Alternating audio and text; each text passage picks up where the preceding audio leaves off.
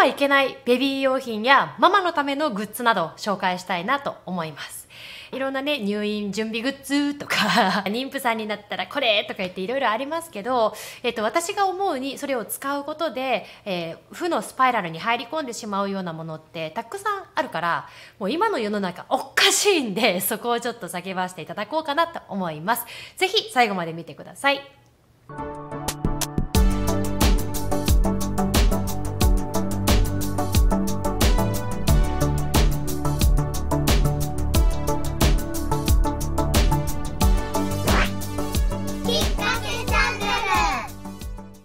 皆さんこんにちは。今の世の中おかしいだろうを叫ぶハイパー主婦梅野あゆみと申します。えっと今日はですねママのための準備グッズみたいなところの中から私はこれ使わないなっていうものをですねご紹介しながら、まあ、今の世の中のおかしさについて語っていこうかなというふうに思ってます。でこれまでも、えっと、赤ちゃん用のなんか商品に関して私が思うことを発信してる YouTube がありますのでよければ過去のものも一緒に見ていただけると、え、参考になるかなと思います。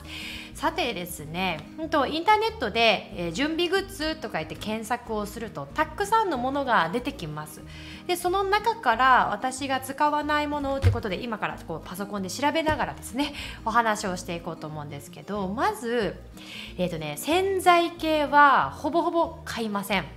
え、例えばね哺乳瓶用の除菌液とか、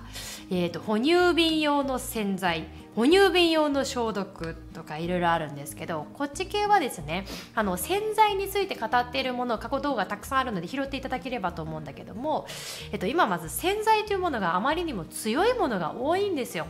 でほら赤ちゃんが生まれたら赤ちゃん用のベビーソープとか赤ちゃん用の洗濯用洗剤とかいっぱいあるけどもそういうのも全部買わない。なぜかというとそもそもなんで大人用と子供用を分ける気にみんななっているのかというと大人用が強いものだと知っているからでしょ。手が荒れたりだとか、えーと、洋服に洗剤が残っていて肌が荒れたりとかあとは、ね、生き物が死んでしまうとかいうのもみんな知ってるんじゃないかと思う。でそんなに強いものをそもそも使う必要が家の中でねあるのかと考えるとほぼほぼいらないわけなんですよ。そうなのでまずあの冷静にね一から考え直してもらって そんなに強いものを毎日使う必要ありますかと。でこの哺乳瓶用除菌液とか、えーと、洗剤系は全部私はいらないと思ってるしあと除菌っていうことに関してもですね赤ちゃんが生まれてなんか心配だっていうふうに言われる方も多いと思うんですけども私たちそもそも菌まみれだから 本当で菌まみれでその菌が本当に悪いものであればあんな下から生まれないでしょと。そうもう本当に大切なんだったらもう上の口からとか産むはずなんですよ。赤ちゃんをねわーって口からべーって産むと。でもそういうわけじゃなく下から産む意味はと。だって汚いところから生まれるんでしょ？それは汚いものに触れ合うことでこの、えー、と世の中を勉強していきなさいよっていうことで汚いところから産むわけなのでだからそこで除菌を下手にしてしまうとどうなるかっていうと弱い子に育っていきますよね。で周り見渡してくださいよ。もう除菌除菌除菌除菌言われますけどあれは商売のためにみんな言ってるんだから気づこうよ。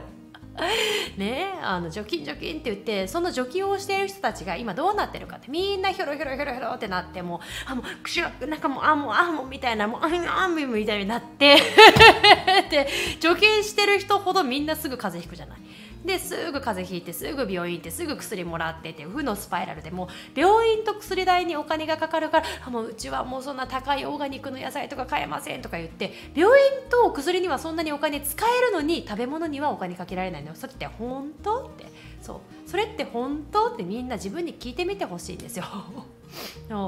だからこの除菌液とかこの洗剤とかこの消毒液とかそういうところにかけるお金があるのであれば自分の体を強くするために、えご飯にお金をかけたりとか運動をすることに時間を使ったりした方がいいと思う。だからこういうのは全部いらないと本当に思っております。あとはねなんかおしゃぶりとかミルクケースとかなんとかポットとかも専用のもの全部いらないと私は思うし紙おむつもいらないって正直思ってます。あの生まれたらですね誰かしらがきっと出産おめでとうとか言っておむつケーキとかくれると思うんですよ。それ1個あれば一生生きるからって 本当もう今うちの子1歳半ですけどもまだあのたった1人にねいただいた紙おむつを大事に使っております。それ以外は布おむつで全然問題ないしお尻拭きなんか一回も買ったことないですよ。お尻拭きってさそもそもあの水に濡れてるようなものがなぜ腐らないのかって考えてみてください。強い防腐剤とか入ってるから。こういうのを使うから、えっと、お尻の周りがだんだんだんだんと荒れてきてで何か体から出したようなものがあったりとか何かあった時にお尻ブツブツってなるんでしょ？だからこういうの全部いらないから。おむつ替えシートとかも本当にいるんですか？と。いらないでしょ？おむつ処理器とかもそもそも紙おむつを買わなければこんな処理器もいらないわけで全部いらないものだけでみんなもうそこにお金かかって疲弊してるんだから。だから本当にかけるべきお金はあの子供の体を作るためのところにお金はかけた方がいいと思うからいらないものね、買ってでどんどんどんどん弱い子供に育っていくようなこの社会の仕組みに乗らない方がいいと私は思います。一昔前のことを考えてみるといらないものばっかりだからね。あとは今そのグッズ系を見てたんですけどあとお風呂衛生グッズっていうところちょっと見ますね。お風呂衛生グッズっていうとベビーバスもうちの場合はいらなかったです。うちはですね洗面所でお風呂を入れたんですけどもベビーバスって本当に一時期しか使わないからだからもしも買おうかなと思う方は例えばですよ放浪の、えーと、ちょっと大きめの桶とかを買ってその後も使えるものとして私は買った方がいいんじゃないかなと思うからこのベビーバスとかも入れないでしょ。あとベビーソープもいらないでしょ？そのだからベビーとつくものをわざわざ買う必要がないなと本当に思います。あとはガーゼとかハンカチとかそっち系はいろんなシーンで使うことができるかなと思うので使っていいと思うけど。あと洗浄面。洗浄面もねほらなんかおっぱい、ね、をあげた後にもう毎回毎回ここを除菌しろみたいな話があるんですけどいらないでしょと。そんなことをしてたらもうどんどんどんどんわけのわかんないことになっていくよと。個人的に思いますけど。はい。あとは入浴剤とか絶対いらないから。もうこれ何？入浴剤って何？昔の人こんなことしてました。考えてみましょうよ。ねローションオイルとかベビーパウダーとかもこういうベビーの名が付くものは全部いらないと。本当に思う。爪切りばさみぐらいじゃないですか。赤ちゃん用のこの爪切りばさみも別に鼻毛切るのと一緒でいいだろうみたいな。なんかもう本当にね。なんでその専用のものがいるんだと。いうふうに思います。洗濯用の洗剤もねベビー用と書かれているもの中身を見ましょうと。中身を見たらベビー用って書いてるから安全かと思えばもう全然安全じゃないじゃないかと。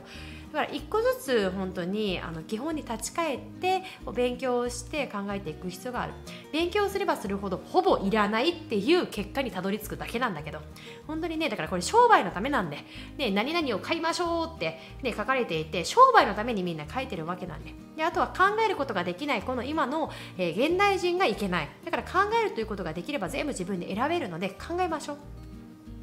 でベビーベッドもあのってよかったなって私はね3人子供がいるから思うんだけどやっぱり一時的なものだからレンタルとかそんなんでいいんじゃないかなと思いますけどね。うん。あとはお布団系はまあ人それぞれかなと思うので育児グッズっていうここですよ。でベビーカーなんですけどね。まあ一応うちもベビーカー最初生まれてずっと買わなくってでどうしても必要なシーンがあって例えばキャンプに行く時とかにまだねんねの状態でそこら辺に転がしておくことができない時にその時だけベビーカーに乗せておくとか本当に必要なシーンが出てきたなっていう時に我が家の場合は買ったからだからいらない人も結構いると思うんですよ。でベビーカーってさもうガタガタガタガタガタガタってするでしょもう子供こうですよ。であとは下の方だとすっごい反射とかで熱すぎるとかね。いろいろあるから自分で本当にいるかどうか考えてほしい。しいなと思うんですよね。うん、チャイルドシート抱っこおんぶとかも抱っこの仕方とかもこれ考えないと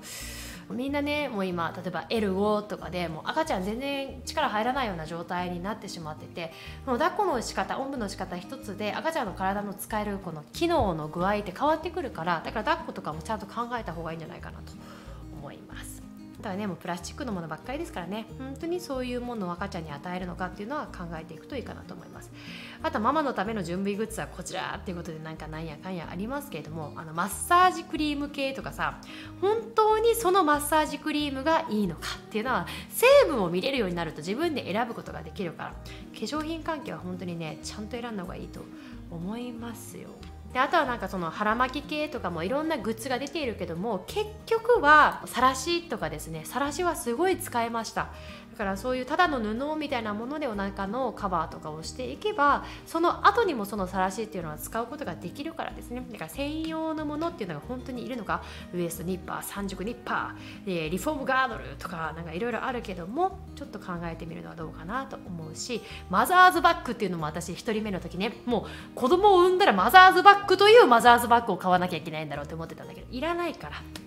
だからこうやって今の世の中がいかにおかしくなっちゃってるか。子どもの頃からいろんな薬漬けとかクリーム漬けとか洗剤漬けにしてでどんどんどんどん使うもので肌が弱るわけですから。で食べるものにお金がかけられないようなこの流れになってしまってお母さんたちは自分の食べ物とかをこうだんだんだんだん削っていくわけ。そうするとまともな食べ物を食べていないから子供にそれが出てでブツブツが出た湿疹が出たとかでまたそこで病院連れてって薬漬けになってっていう悪循環でずっと悩むわけ。わけですよ。で悩み悩みでもさ原因はどこだったかっていうと勉強をしなかったっていうことにあると思うのね。だからちゃんと勉強して考えるということが自分でできるようになればその負のスパイラルでも乗らないから。からしっかり考えられるようになりましょう。今の世の中本当おかしくなっちゃってるんでせっかくその赤ちゃん授かったで本当にこの命はみんなで守っていきたいじゃないですか。でも守るためにはお母さん一人一人が勉強しないとやっぱりねずっとテレビを見てるとかずっと SNS だけこうやって見てるとかそんなんじゃなくてしっかり勉強しましょうってことで、えっと、私の講座の中でいくと妊婦さん向けの講座とか基本の9講座とかありありますからそういうところで勉強することができます。でも別に私の講座じゃなくても世の中しっかりと本質を見ようよって言って伝えていらっしゃる方たくさんいらっしゃるので自分があこの人と馬が合いそうだなっていう方から勉強されるといいと思うのでぜひ学ぶということを忘れずにいきましょう。で無料の情報ばっかりこうやっててももう苦しくなるばっかりですよ。だからちょっとね考えていけたらなと思います。ということで今日は買ってはいけないグッズというテーマでお送りしました。考えるきっかけになると嬉しいです。ではねバイバイ。